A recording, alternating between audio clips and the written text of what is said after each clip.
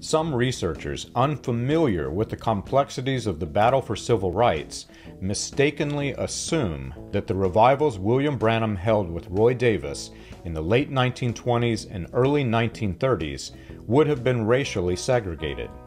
With Davis being a former second in command of the Klan, and Branham joining Davis and other high ranking members of the Klan, it would be very easy to assume that people with black skin would have not come within several miles from their revivals.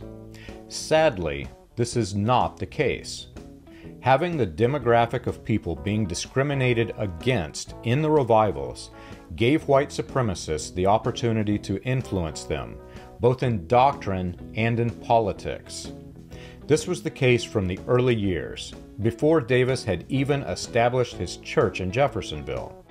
Roy Davis and Ralph Rader set up an interdenominational gospel tent in Warder Park near the Municipal Bridge, and it was desegregated.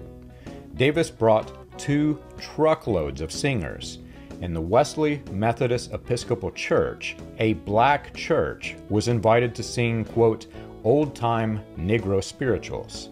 It was a massive tent, the largest of its kind in Jeffersonville, and the Lieutenant Governor, Edgar Bush, came to speak.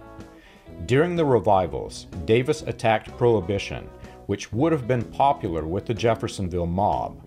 He invited the Masons to attend the Divine Healing Night and pretended to be a converted spiritualist speaking in Indiana, a hotspot for spiritualists. In many ways, this revival would become the prototype for Branham's own healing revivals. You can learn this and more on william-branham.org.